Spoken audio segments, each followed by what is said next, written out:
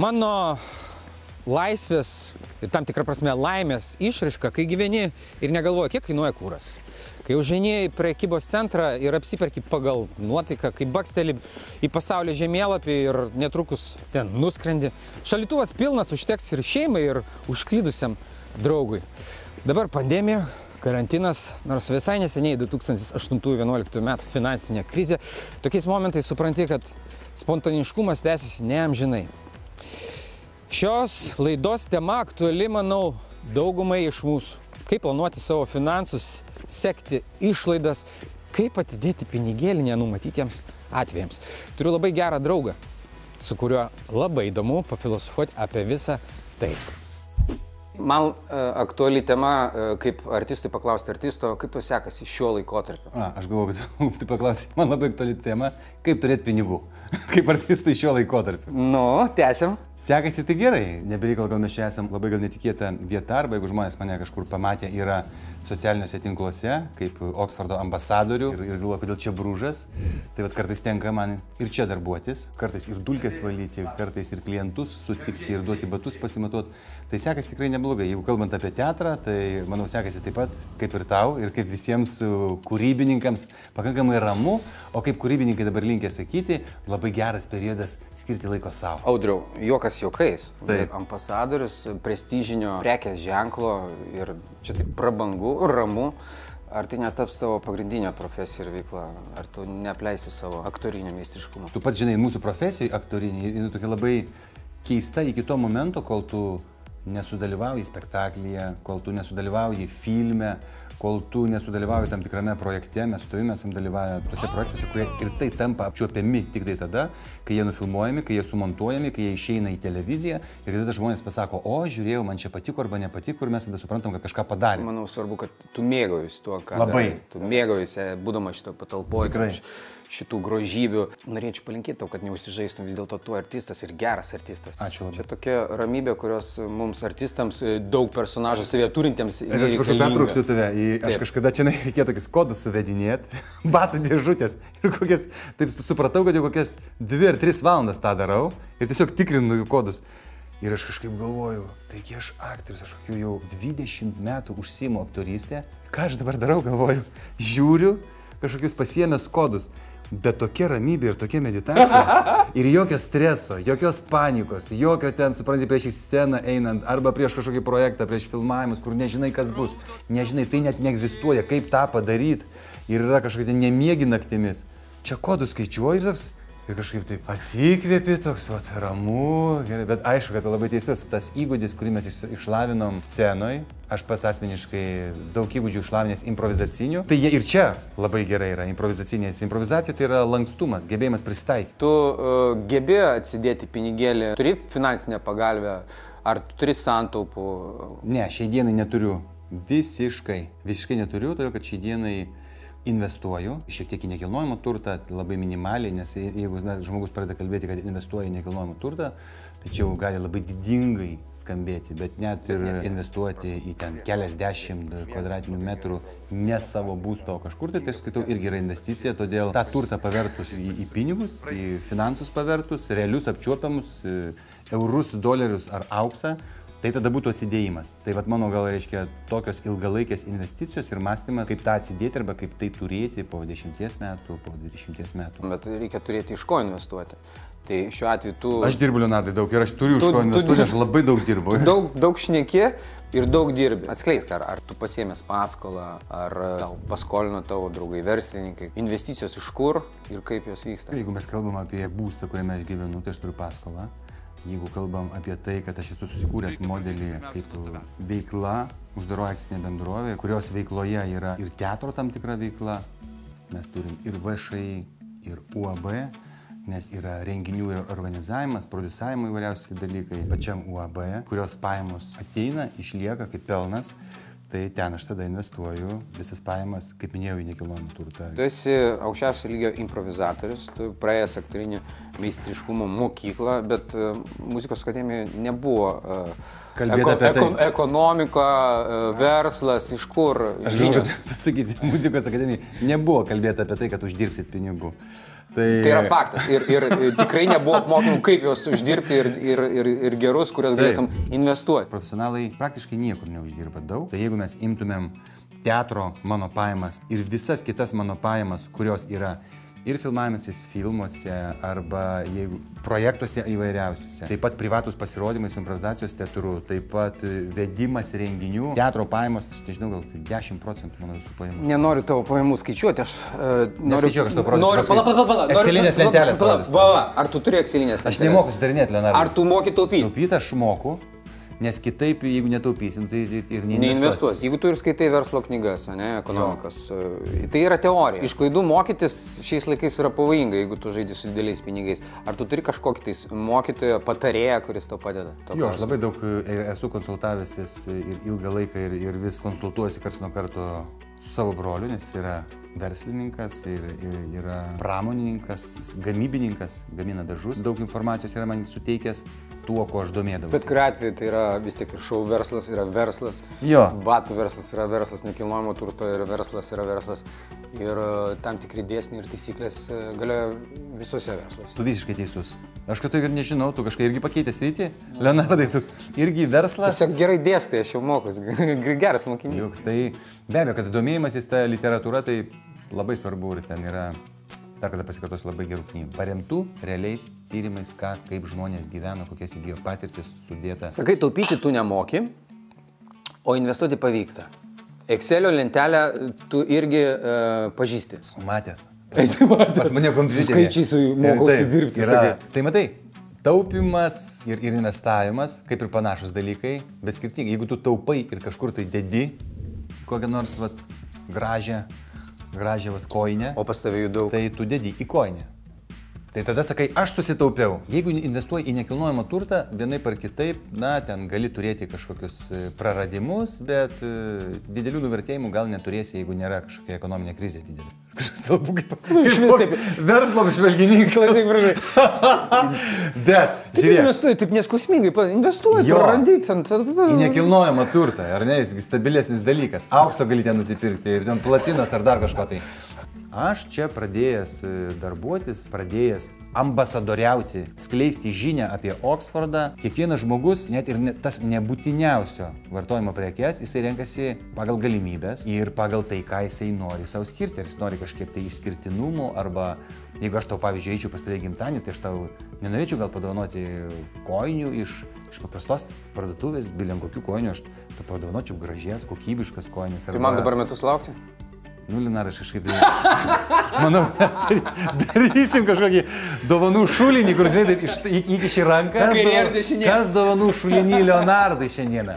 Dovanų šulinį. vien tik tai šulnigiai ir batus ir kepurę? A, Lena, matai, kaip... O, tu draug, jisai pragmatiškas, gerai, man, o tu sakai, tu, žinai, tu savęs neįvardinai versliu. Tu irgi labai verslus, kad čia koinėm nepasitenkinsi tik tai.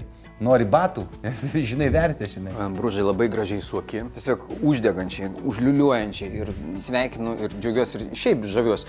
Turiu garbės susipažinti su konsulu ir tokia Ambasadorium. sėkmės ambasadorium. Ambasadorius. Čia Sėkmės pareigybės. istorija e, verta plojimų. Bet tai norisi išgirsti ir kažkokių tais afrontų, nesėkmių. Vis tiek O kas klaidų. būtų nesėkmė tada? Vat man labai įdomu, labai skirtingai žmogus, vat, pavyzdžiui, atsikėlė iš ryto, pasižiūrėjo, jam saulė nešviečia, jam nesėkmė. Bružai. Žiūri, lyja, jam nesėkmė. O ką tu tada... Jeigu Man uh, reikia šiek tiek atitolti nuo metaforų ir prieiti prie gyvenimiškų, uh, praktiškų ir uh, tokių skausmingų klaidų. Jo. Tai, pavyzdžiui, tu investuoji, yra tam tikri pas tave ten nekilnojamo turto verslai. Negi toks buvo gražus, kaip sviestų pateptas kelias. Ai, gerai, čia jums reikia, reikia var žmonijai. Reikia, tokių- reikia, kad suprastų susikurti irgi dir- žmogus, kuris klysta. Susikurti dirgiklių. Tai gerai, aš galiu sukurti tų dirgiklių jums. Ir Tu su- nesukurk, tu Jo, bet aš galiu dalinkis šit- savo patirtimi. Bružai? Atvirai. Tai va, pavyzdžiui, aš organizavau Vilnius Comedy Fest festivalį. Tris metus, man atrodo. Tris metus. Nu, tai jis buvo labai minusinis. Realiai aš ten savo pinigus sudėjau. Ir aš nežinau, ten tada buvo gal ten eurai, aš kokių 120-130 tūkstančių. Kažkur sudėjau. Kažkam gal čia nesėkmė.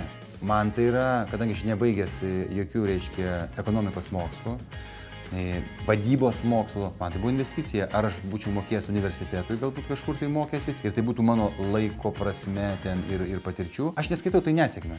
Aš skaitau tai kaip investicija į saviugdą ir į mokslus. Tu labai optimistiškai kalbi netgi apie skausmingas patirtis. Nu jo, tai tu labai Bet, gerai sakai, žinai, tuo bet- momentu tu tikrai išgyveni, nes ten, nu, tu, tu tokius Bružai, pinigus dedi, tai faktas, kad yra emocijos. pergyvenimo ir, ir, ir ašarų, nežinau, e, kokie veiksmai pas tave buvo įspręsti situaciją. Tai jokių veiksmų, Linardai, turi pinigų, organizuoji, dedi tos pinigus, ar, Prarandi. arba tau bilietus nuperka, Taip. arba Tai nenuperka. šiuo atveju praradai ir e, kaip tu išplaukiai sausą. Tada darai antrus metus, galvodamas, kad čia užauginsi. Kad čia užauginsi ir reikia laiko. Sakykime, reikėjo gal tęsti, bet nereikėjo tęsti. Tu tiesiog pakeitei kryptį, aš taip supratau. Kartais ateina laikas, kad tu pasitikrini ir suvoki rinką, kad e, negalėsi čia padaryti. Man siaubas, kai žmonės pasako, ir man tekia girdėti tokius dalykus, ten, kai tekdavo važiuoti va, su tavimi, buvom susitikę Bali arba į Tailandą, tai baigtų, sako, taigi ten nusipirksi už, už 3 eurus maikutę išmesi. Aš tokių nesuvokiu dalykų, aš turiu daug dalykų, kuriuos aš kaitalioju, galiu sukeisti derinius jų ir, ir gali nedaug turėti dalykų, bet atrodys skirtingai, stilingai ir jie man gali tarnauti 10 metų.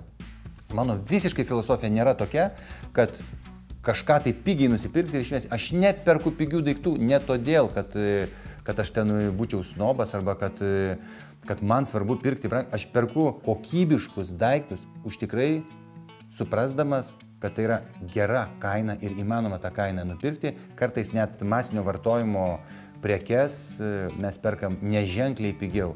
Ir tos prekės yra ženkliai prastesnės kokybės. Aš esu už tvarų verslą, aš esu už sąmoningą atsakingą vartojimą. Audriu, žiūrėk, e, trumpai tariant, trys bruožai, kurie galėtų stimuliuoti tavo sėkmę, kuriant verslą. Bruožai. Bruožai. Tai pirmiausia, tai turėtų būti žingeidumas, žingeidumas ir žingeidumas. Paklausai, brūžo, atrodo viskas taip paprasta, natūralu, tiesiog darai. Investuoji, nepasiseka, keiti kryptį ir anksčiau ir vėliau. Anksčiau ir vėliau tau tikrai pasiseks. Ar jisai laimės kūdikis? Nemanau. Jisai kalba įkvepiančiai. Aistra ir pritariu šimta procentų. Vienas pagrindinių sėkmės varikliukų yra žingeidumas. O jeigu dar kažkuo abejoji, kreipiesi į ekspertą. Šiuo laikotarpiu situacija yra nelengva didžiai daliai žmonių. Darbai sustoja, tenka krapštyti keulio taupyklę ir ką daryti tokiu atveju mūsų tauta, pripažinkite, mažiausiai ką norėtų, tai skolintis. Gal jūs galite paneiti šitą nusistatymą? Na, jūs labai gražiai, Leo, pradėjot nuo to, kad situacija tikrai yra išskirtinė. Ir dažniausiai tos išskirtinės situacijos jos atneša tokių neplanuotų įpročių pakeitimų. Ir natūralu, kad yra tikrai situacijų šeimose ar atskirai pas jaunimą, kur galbūt dėl sustabdytos veiklos jie dabar neturi darbo. Tačiau tokios situacijos, jos jeigu pažiūrės į gyvenimo ritmą, jos laikas nuo laiko pasikartoja. Ir ką mes iš finansų pusės, kaip finansų ekspertai sakom, blogoms situacijoms reikia ruoštis gerais laikais. Tai čia kaip, žinote, patarlė, ar ne?